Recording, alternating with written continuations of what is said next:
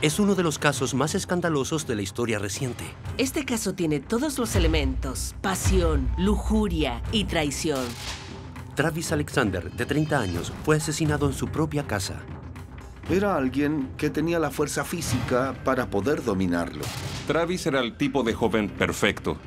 También muy religioso. Un romance tormentoso. A los dos meses de conocer a Travis Alexander, Jodi Arias decidió convertirse en mormona. Se volvió una atracción fatal. Sabíamos que había algo en ella que no nos agradaba para nada. Entraremos en la sala de interrogatorios. Esa eres tú. Solo tú. Mm, ¿Se parece a mí? Toda la evidencia apuntaba a Jodi Arias. Y revisaremos los detalles que hicieron de este el juicio con más cargos sexuales en la historia. ¿Cree que se interesaba en los chicos jóvenes? Sí. Travis estaba viviendo una doble vida. Era el abusador, era el pervertido. No existe una razón. No tenía ningún motivo para querer lastimarlo. Estás loco. Atracción fatal. El caso de Jodi Arias. Por favor, levántense para escuchar el veredicto. Por favor, tomen asiento. Tomen registro de que estamos ante la presencia del jurado, los abogados y la audiencia. Damas y caballeros, entiendo que ya tienen su veredicto y este ha sido entregado al alguacil. Por favor, acérquese.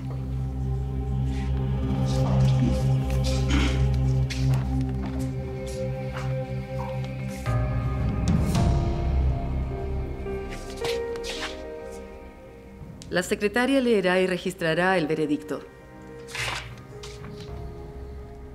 El Estado de Arizona contra Jodi Ann Arias, veredicto del primer cargo.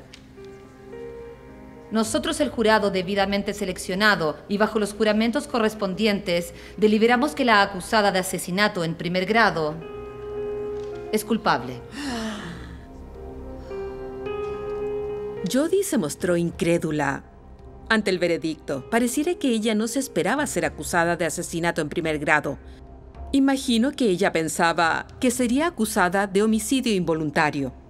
Miró al jurado, impresionada, como si dijera, ¿qué pasa? ¿Primer grado? Finalmente lo acepté. En un momento fuimos 11 contra 1, pero finalmente no pude aceptar que esto haya sido en defensa propia. El veredicto no dejó de sorprenderme si eso responde a esa pregunta. Afuera había una celebración. Cientos de personas ovacionaban. Estaban felices de que la hubieran declarado culpable y de que la familia de Travis encontrara justicia. Los hermanos de Travis Alexander concuerdan con el veredicto de culpabilidad que dio el jurado. Les gustaría agradecerle al fiscal adjunto del condado, Juan Martínez. Así como también al detective Steve Flores por su arduo trabajo y profesionalismo. Poco después del veredicto, Jody hace una jugada inesperada. Lo siento. Minutos después de ser declarada culpable de asesinato en primer grado, incluso antes de su sentencia, es decir, no sabe si vivirá o morirá, ella decide dar una entrevista para la televisión a un periodista del canal Fox, en Phoenix. Hace unos momentos escuchaste el veredicto del jurado. ¿Qué opinas? Me quedé en blanco. Creo que...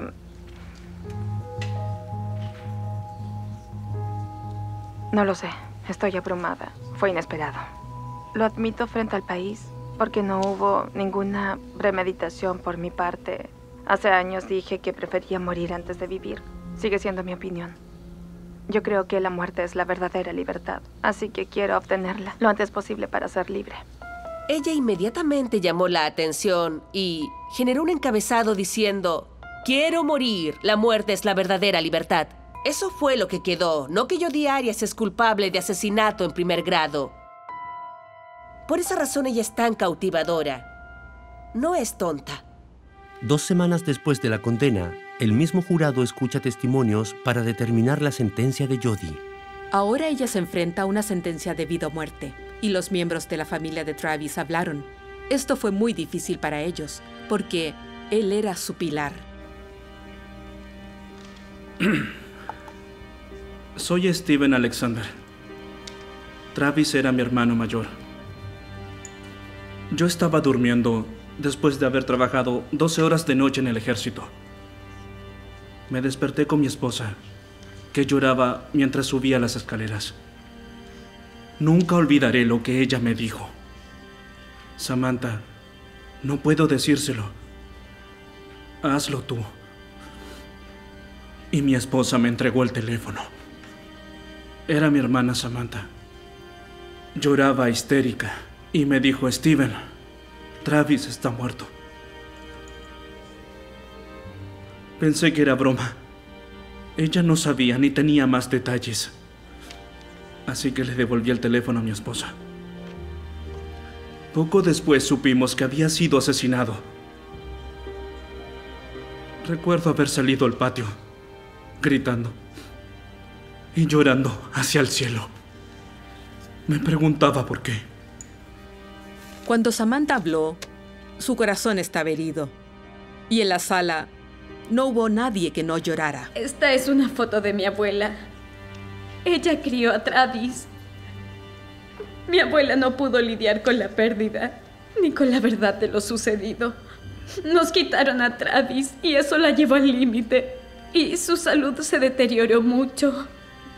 Y nunca volvió a recuperarse. Fuimos bendecidos por nuestra abuela.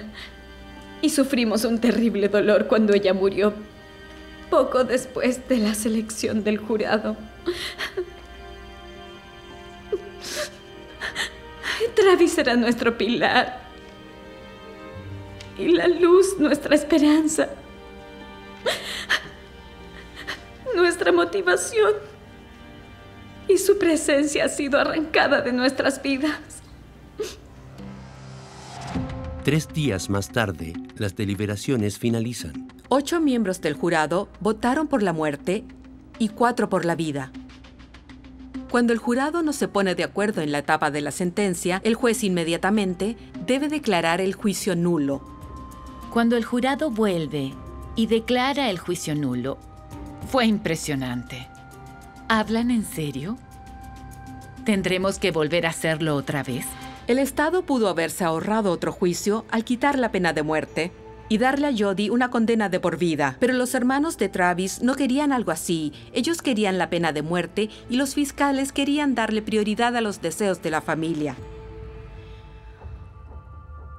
Un año y medio más tarde, todos volvemos al tribunal, a la misma sala, el mismo tribunal, el mismo juez, los mismos abogados, con un jurado diferente. Nos encontramos en la fase de la sentencia del juicio. Dígame, ¿está listo el Estado? Sí, soy Juan Martínez por parte del Estado. Juan Martínez no tenía que volver a presentar la misma evidencia porque la acusada ya era culpable. Eso estaba probado, pero él debía argumentar por qué ella se merecía la pena de muerte. Cuando te apuñalan, duele.